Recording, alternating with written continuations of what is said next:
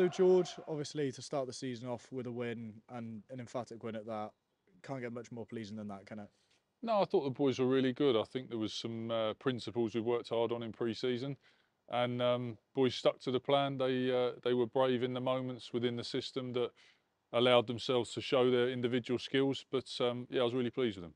And I know you mentioned after the game the work that work that James Lightfoot Brown had put into the attack. How pleased were you with the bits that you'd started to see coming through from that? Yeah, I, I thought there were some really strong moments. I thought George ran the game really well, and I thought the boys worked really hard off the ball to put themselves in good positions. Um, and some of it came, you know, to fruition really well. There was there's plenty for us still to improve on, obviously, but yeah, really, really pleased. Lights has worked hard. You know, the boys have bought into the system. I say there's still a, a good while to go, but yeah, the initial signs were pleasing. And you mentioned the young players being brave. It's always hard, isn't it, as a young player to sort sort of showcase yourself. So that must have been impressive. Yeah, it's difficult because you you know you play through the youth ranks and then you come out into the men's game. It's very very different, and you play in front of big crowds and. Um, you know, you, you want to put your best foot forward, and, and sometimes you, you just got to be brave and you know, we, we have an environment where you can go for it and, you know, no one's going to get on your back for making a, an honest mistake as long as you work hard. Um, and the boys did that. They worked really hard and there was a couple of times we did push our luck, it didn't come off, but that's not a drama. You know, we learn from that, we get better and, um, you know, I want the boys to use the, the individual brilliance that got them this far. And is that testament to your other coaches and the senior players that the young guns are will go out there and try things?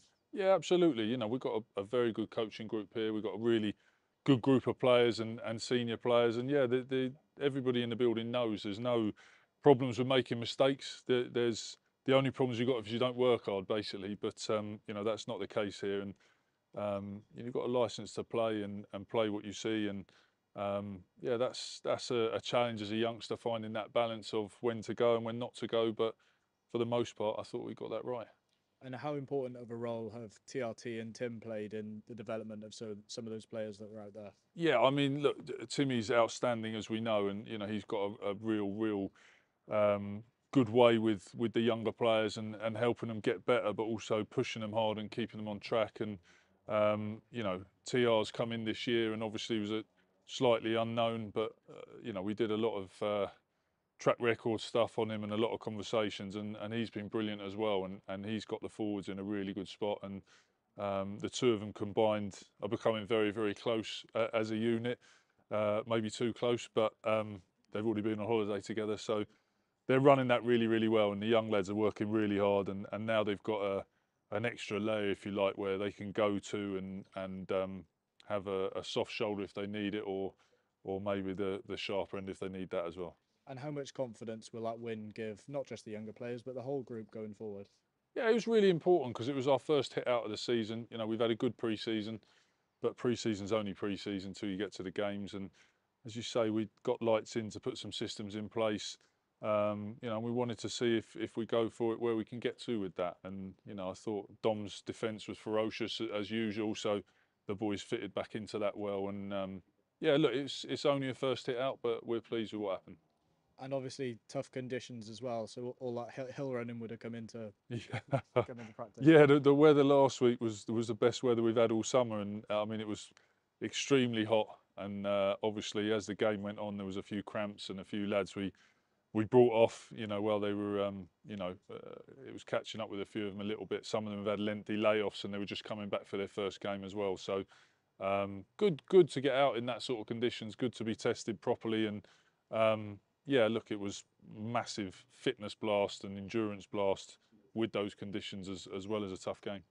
And obviously this week, Saracens away. It doesn't matter sort of who takes the field for Saracens. When you play them away, it's always a tough game, isn't it? Yeah, of course. Sarries are they're the champions of England, aren't they? So they're well oiled. They know what they're doing. You know, they've uh, had those coaches in place for a good long while, and and uh, Mark McCall's had his systems there for for ages. So um, you know, we we know it'll be a real challenge this weekend. We know uh, it's never ever easy going there. You don't win too often there, so you know we've we've got to be our best.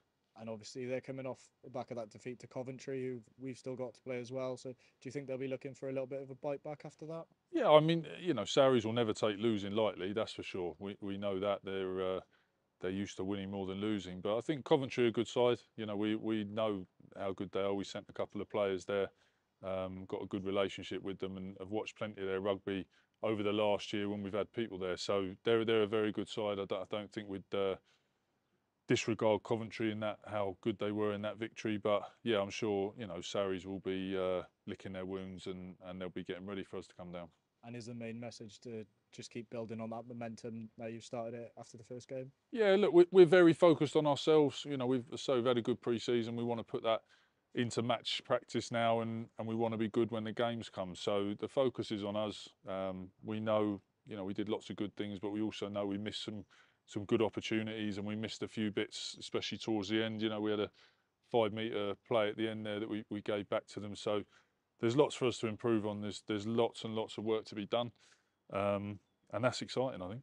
And I guess coming away with the win, but also having a lot to work on, can only be a positive thing, can't it? Yeah, definitely. You know, you you always you always sort of come away with with bits that are frustrating and uh, and you want to get better. But I think you know we expected to be at a certain level and um, you know we expect to play at a certain level and we're happy to put that pressure on ourselves. But we did not acknowledge before the game this is not going to be perfect and we're going to have to ride out a few storms and that was with what Nottingham brought, but also you know, not get frustrated with making a few mistakes. So um, we'll go in with that attitude again this weekend. Perfect. Thanks, George. Thanks a lot.